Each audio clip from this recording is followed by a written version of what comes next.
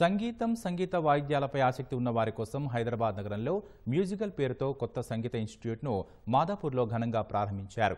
Piano guitar drums ఇలా వివిధ సంగీత వాయిద్యాలపై దృష్టి సారిస్తూ ఆసక్తి ఉన్న వారికి మ్యూజిక్ పాఠాలు చెప్పేందుకు సిద్ధమైనట్లు మ్యూజికల్ నిర్వాహకులు తెలిపారు.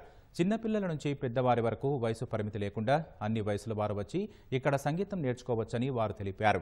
ప్రారంభం రోజున మధ్యాహ్నం పన్నెండు గంటలకు మూడు గంటలకు తిరిగి సాయంత్రం ఆరు గంటలకు ఉచిత వర్క్షాపులు నిర్వహించారు. సంగీత వాయిద్యాలపై ఆసక్తి ఉన్న ప్రతి ఒక్కరూ ఈ అవకాశాన్ని సద్వినియోగం చేసుకోవాలని ఇన్స్టిట్యూట్ నిర్వాహకులు వెల్లడించారు. మ్యూజికల్ అనేది రెండు వేల ఇరవై సంవత్సరంలో ప్రారంభించబడింది. మ్యూజికల్ మొదట్లో ఒక యాప్గా ఆ, స్థాపించబడింది. తర్వాత ఒక సంవత్సరం క్రితం ఫస్ట్ అకాడమీ కొంపల్లో స్టార్ట్ అయింది. ఇప్పుడు మాదాపూర్లో రెండో అకాడమీ స్టార్ట్ అయింది. ఇప్పుడు హైదరాబాద్లో కూకట్పల్లి స్టార్ట్ అవబోతుంది నెక్స్ట్ మంత్. అలాగే కొత్తపేటలో ఒకటి వస్తుంది. కాకినాడ విశాఖపట్నం.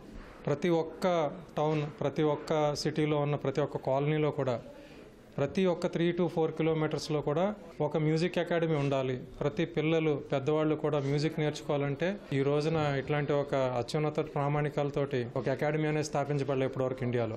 ఎడ్యుకేషన్ సెక్టర్లో ఏదో ఒక బిజినెస్ చేద్దామని చూస్తూ ఉన్నాం మేము. అండ్ వేరే పనులు కూడా ఉన్నాయి కాబట్టి ఫ్రాంచైజ్ అయితే బెటర్ అని చూస్తూ ఉన్నాము. అదే టైంలో మా పిల్లలకి కూడా మ్యూజిక్ నేర్పించడానికి ఎవరైనా ఉంటారేమో మంచి అకాడమీ కానీ మంచి టీచర్స్ కానీ ఎవరైనా దొరుకుతారేమో అని చూస్తూ ఉన్నాం. ఆ టైంలో మాకు ఇన్స్టాగ్రామ్లో మ్యూజికల్ కనిపించింది. వాళ్ళు ఫ్రాంచైజ్ ఇస్తున్నారని. వాళ్ళకి ఇది ఆల్రెడీ కొంపల్లి ఓపెన్ ఉండేసరికి అక్కడికి వెళ్ళి చూసాం ఎట్లుంది ఏంటి అనేది. పద్ధతి వాళ్ళు ఎలా టీచ్ చేస్తున్నారు ఆ పద్ధతి ఒక కరికులం బేస్ టీచింగ్ ప్రాపర్గా ఒక రెగ్యులర్ స్కూల్ ఎట్లా ఉంటుందో అట్లా. కాకపోతే స్ట్రెస్ ఫ్రీగా ఉండాలి. పిల్లలు పెద్దలు అందరు అన్ని వయసు వాళ్ళకి నేర్పిస్తున్నారు.